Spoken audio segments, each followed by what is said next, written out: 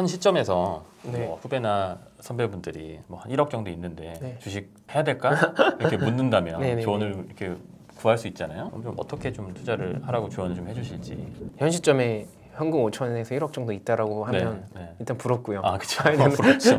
일단 너무 부러, 부러운데 네. 일단 아까 말씀드린 것처럼 일단 미국 주식이랑 한국 주식 해가지고 음. 일단 본인이 먼저 포트폴리오를 먼저 짜는 게 중요한 것 같아요. 음. 그리고 현 시점에 이제 대부분 자산 가격이 다 빠졌으니까 네. 저라면 지금 바로 50%를 매수하고요. 네. 그냥 하락할 때마다 이제 음. 이제 그 남은 현금을 가지고 좀 추가 매수를 하고 월급이랑 배당 들어오는 거 꾸준하게 계속 매수를 해가지고 음. 일단 예, 투자를 할 것 같습니다. 음. 그 미국이랑 한국 주식들로 포트폴리오를 짜는 게 좀 중요하다라고 하셨는데 네네. 어떤 기준으로 짜면 네. 좀 안전하면서 수익도 좀 낼 수 있을지 약간 팁을 조금 주신다면. 처음에 투자 고민을 했을 때 네. 동기들이랑 같이 고민을 네. 했을 때 저희가 월급을 원화로 받잖아요.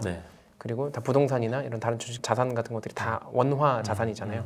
그래서 달러 표기된 자산이 좀 많이 필요하지 않을까 금융에 있어서는 그래가지고 그냥 이건 그냥 막연한 거긴 한데 그냥 미국 주식 비중을 한 70% 음. 그리고 국내 주식 30% 아까 말씀드린 국내 주식 포함한 신흥국들 음. 중국과 국경을 맞대면서 미국의 부족한 제조 기반 시설들을 보충할 수 있는 음. 어떤 그런 국가의 어떤 기업들을 30% 정도 비중을 뒀었고요. 음. 본인이 마음 편한 포트폴리오가 중요한 것 같아요. 하지만 어쨌든 이게 전 세계인의 입장에서 봤을 때 그 가장 힘이 센 패권 국가의 통화인 음, 음. 미국 달러 표기된 자산은 제가 봤을 때 꽤 많이 필요할 것 음. 같고 만약에 본인이 부동산도 있으시다고 한다면 네네. 좀 달러 비중을 더 많이 가져가는 게 좋지 음, 않을까라고 음, 생각을 좀 음, 하고 음. 있습니다. 그럼 이런 우량주들 같은 경우가 그러니까 모아 가다가 네, 뭔가 그 회사가 또 경쟁력을 잃게 되는 경우들도 있잖아요. 맞아요, 맞아요. 잃었다는 걸 내가 알 때쯤 되면은 엄청난 이제 폭락이 막 동반되는 경우들도 있어서 그러니까 메타 같은 뭐 예를 거죠? 들면 네네. 내가 메타가 좋을 것 같아서 계속. 투자를 했는데 네. 갑자기 단기간에 이제 너무 빠지는 바람에 대응도 못 하고 네네. 뭐 아니 최근에 뭐 넷플릭스 같은 경우들도 네, 그렇죠. 그런 거는 좀 어떻게 대처를 좀 해야 될지 그런 게 참 되게 어려울 것 같더라고요. 그렇죠, 어렵죠 네, 사실. 네, 네. 그래서 개별 주식 아무리 우량해 보인다고 네네, 하더라도 네. 사실 투자를 하면 함부로 하면 안 된다고 네, 네. 말씀하시는 게 진짜 그런 종목들 음. 때문에 나온다고 음. 이제 생각을 하는데 음. 제가 투자하는 회사는 우량한 회사가 아니라 그 우량한 회사 중에서도 초우량한 음. 회사예요. 그러니까 애초에 저는 넷플릭스나 카카오 네이버나 음. 이런 것들부터 투자를 하지 않았어요. 그 당시에 1등이었던 주식들, 그러니까 애플, 마이크로소프트, 그다음에 삼성전자. 음. 그러니까 이게 고점 대비 빠지긴 했는데 최고점에 산 게 아니라 적립식으로 샀잖아요. 네. 그러니까 사실 마이너스가 크지도 않아요. 아. 그리고 여기 기업들은 음. 경기가 어려워도 계속 배당이 들어오거든요. 음. 그래서 재투자할 수 있는데 음. 뭐 넷플릭스, 페이스북 배당 안 들어오잖아요. 안 주죠, 안 주죠. 카카오 네이버도 배당이 있긴 있는데 네. 뭐 그렇게 의미 있는 수준도 봐야죠. 아니고 네네. 그래서 개인적으로는 그 주린이 분들이라면 음. 우량주 투자를 시작하지 말고 음. 초우량주 초우량주. 기준으로부터 top-down 방식으로 음. 공부를 해 나가면서 투자를 하는 게 좋을 것 같고 음. 그래서 저는 항상 말을 하는 게 전 세계 기업을 list up 해가지고 시가총액이 높은 순서대로 부터 투자를 하는 게 맞다고 봐요. 음. 예. 그래야지 사실은 이런 하락장도 견뎌낼 수 있는 네, 거지. 네. 그렇- 그리고 그래서 네. 그런 좋은 주식이라는 걸 모두가 알기 때문에 시가총액 1등이거든요. 아, 그렇죠. 메타가 더 좋은 기업이었으면 네. 사실 뭐 영업 이익률은 더. 높잖아요. 음. 그런 회사들이 음. 왜냐면 당장에 어떤 설비나 이런 게 네, 없으니까. 네. 하지만 그렇게 음. 올라가지 못한 이유는 음. 다 그런 것까지 반영해서라고 저는 음. 생각합니다. 그 요즘에 예적금 이자가 엄청 높아져가지고 맞아요, 맞아요. 예적금으로 돈이 좀 많이 몰린다고 하던데 네. 이런 부분은 좀 어떻게 보시나요? 어, 당연히 단기적으로 금리가 음. 급격하게 오르고 금리 이꼴 돈의 가치니까 음. 당연히 가치가 높아졌으니까 예적금으로 몰리는 건 전 자연스러운 음. 현상이라고 생각을 하는데 음. 저는 그래도 예적금 안 하고 있는 이유가 음. 현금에 장기 투자해가지고 부자가 됐다거나 인플레이션을 이겨냈다는 사람을 혹시 보신 적이 있나요? 없는 것 같아요. 네, 제가 봤을 때 현금에 장기 투자해가지고 음. 뭐 부자가 됐다거나 인플레이션을 충분히 이겨냈다 음. 장기간 했을 때 맞아요. 사람 본 적이 없어가지고 맞아요. 이 어쨌든 현금을 지금 들고 계신 분들도 음. 어느 시점에는 반드시 투자 판단을 하셔야 돼요. 음. 투자 판단을 내려야 하는데 음. 그런 투자 판단을 내린다고 하면 음. 자산을 만약에 매수한다면 우량 자산을 매수하는 게 안전하고 음. 가능하면 이제 남들이 안 살 때 사는 게 음. 싸게 사는 저는 기회라 생각하거든요. 음. 한세 달 전만 해도 음.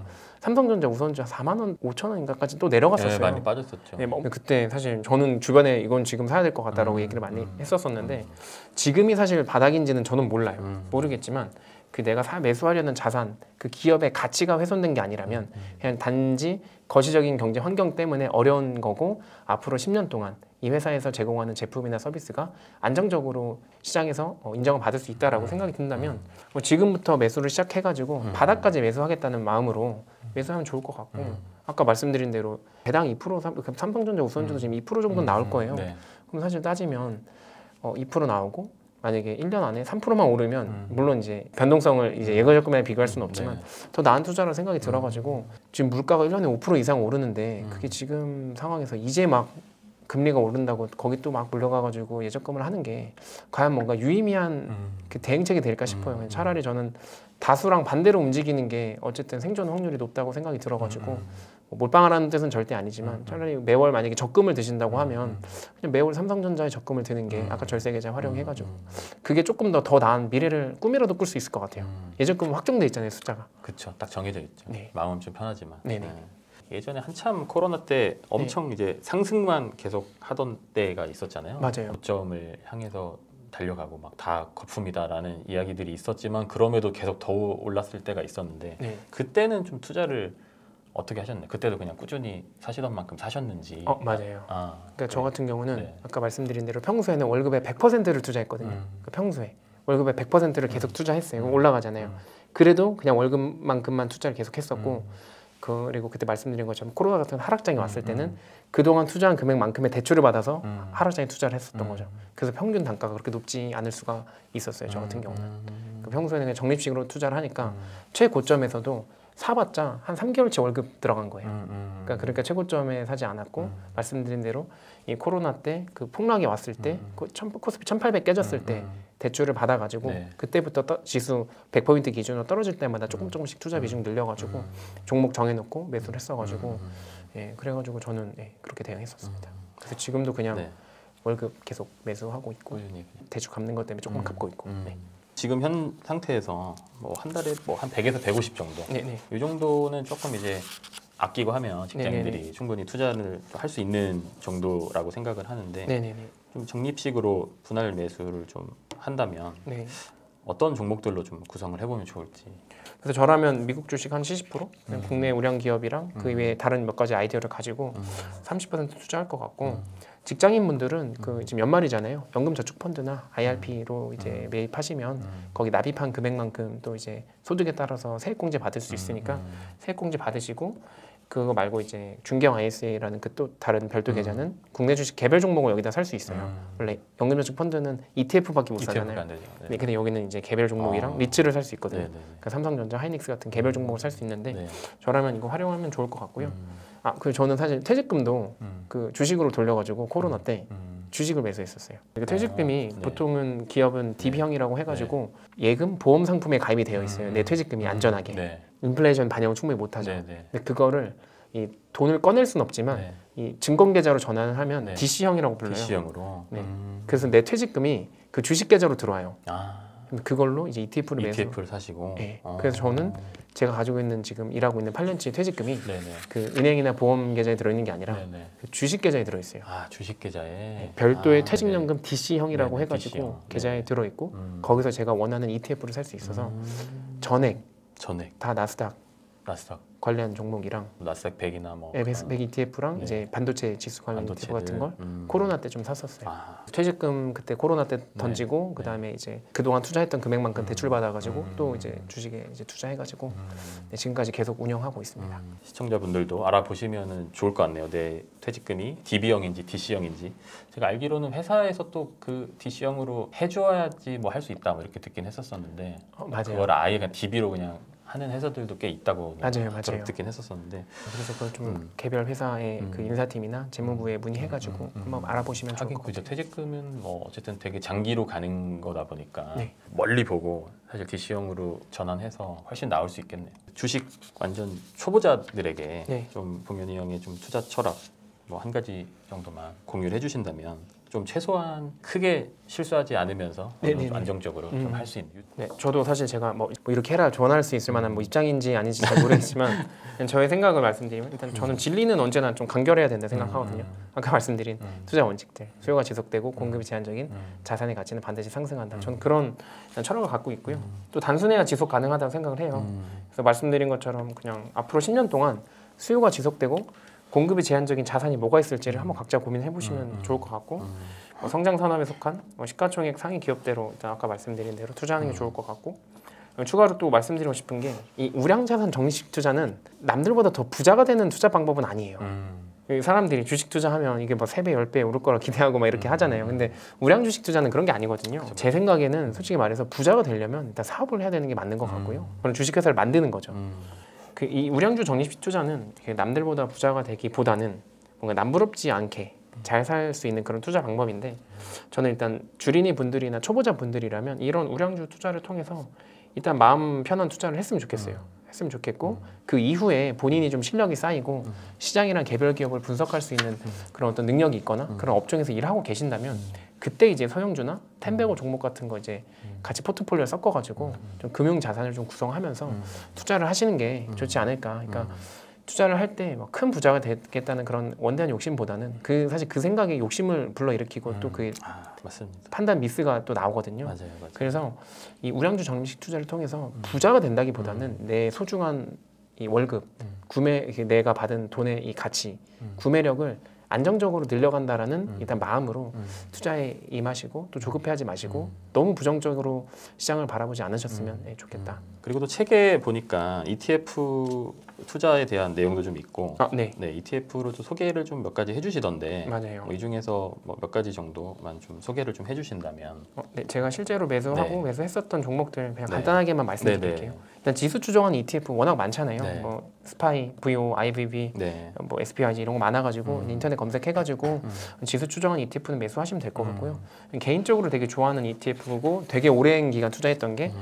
이제 배터리랑 자율주행차에 전반적으로 투자하는 LIT ETF 라는 LIT. 종목이 네. 있어요. 이거 국내 기업, 미국 기업, 중국 기업 다 들어가 있거든요. 음. 저는 사실 개인적으로 이거 조금 많이 갖고 있고 음. 초기에 테슬라가 그 당시에 제가 처음에 테슬라를 접한 게 6년 전이에요. 음, 어우 일찍 접하셨네요. 2016년도에 네. 테슬라, 뭐 비욘드 미트, 네. 비트코인 다 접했었는데 음. 그때 제가 테슬라를 매수하지 못했던 이유는 제 동기가 그 단차가 너무 심하다고 음. 그 전기차가 되겠냐 음. 이런 의구심이 있었거든요.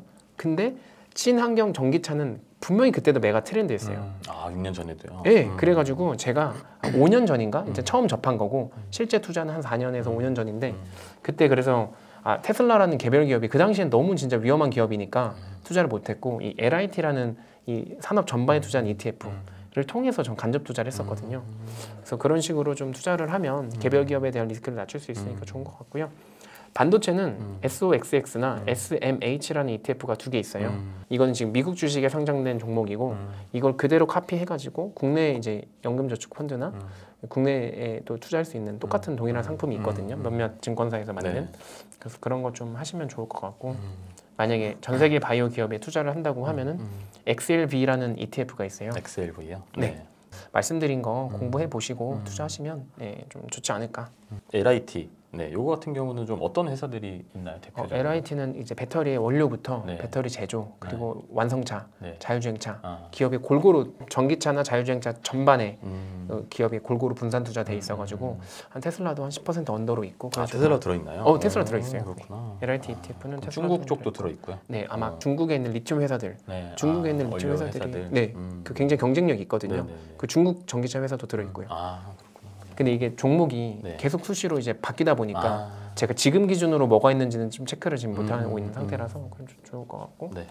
리츠는 저 예전에 머니맵 나와서도 말씀드렸었는데 음, 음. 리츠도 저는 성장하는 산업에 음. 속한 리츠를 이제 저는 추천을 하거든요. 음, 그래서 제가 그 말씀드렸을 때 데이터 센터 음.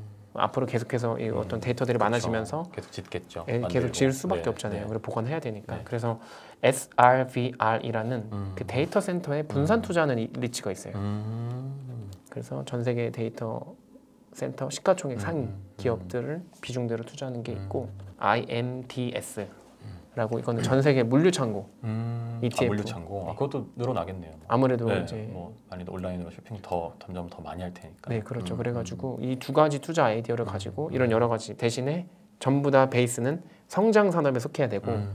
압도적인 시가총액 1등이 없다면 그 1등이 포함된 ETF를 ETF를 많이 매수한다. 음. 서- 그 수익률은 낮아도 음. 대신에 안정성이 좀 변동성이 낮아가지고 음, 좀 음, 괜찮다. 음.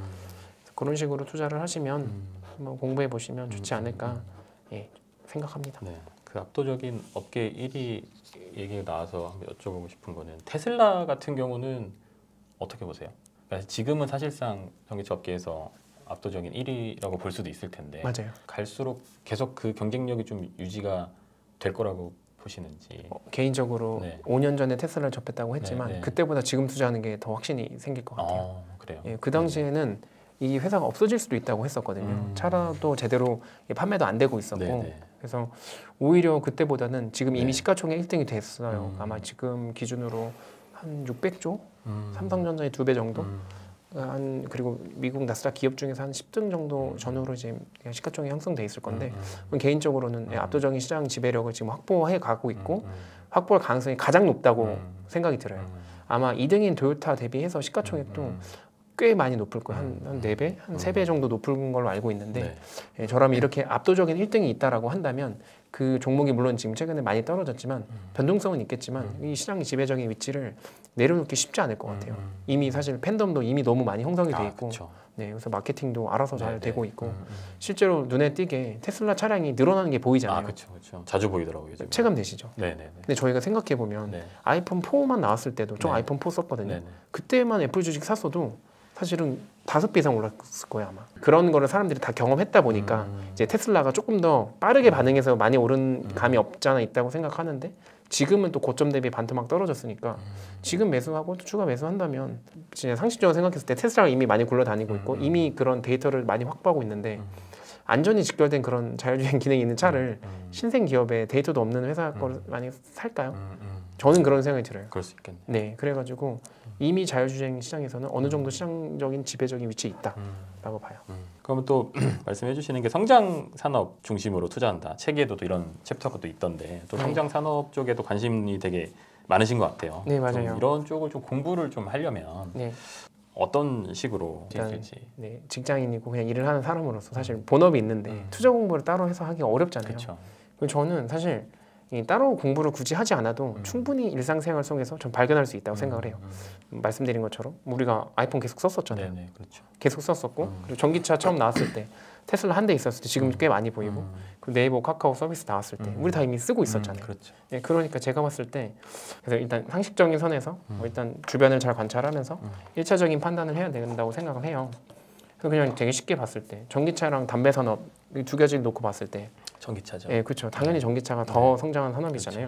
네. 그러니까 어쨌든 말씀드리고 싶은 건 음. 뭐 전기차, 자율주행, 뭐 메타버스, 음. 바이오, 뭐 우주 항공, 뭐 반도체, 컨텐츠 우리가 흔히 볼 수 있는 충분히 생각할 수 있는 것들이 있는데 여기서 저라면 먼저 어쨌든 빨리 부자가 돼야 되니까 음. 먼저 현실에 실현될 수 있는 거 위주로 음. 우선순위를 둬서 투자를 하는 게 너무 멀리 있는 거 말고 어느 네. 정도 좀 그래서 강 과장님이 봤을 때 네. 전기차나 자율주행이랑 메타버스 하면은 전기차죠. 아무래도. 그죠, 아무래도 네, 그냥 뭔가 메타버스는 훨씬 더 커질 수 있을 것 같긴 한데 아직은 잘 모르겠더라고요. 좀 시간이 필요해 보이잖아요. 네, 네, 그래서 네. 그냥 그, 우리가 직감적으로 와닿잖아요. 그쵸, 그쵸. 그래가지고 음. 저 같은 경우는 10년 이내에 가능하면 왜냐면 제가 뭐 10년, 20년 더 일할 거지만 음.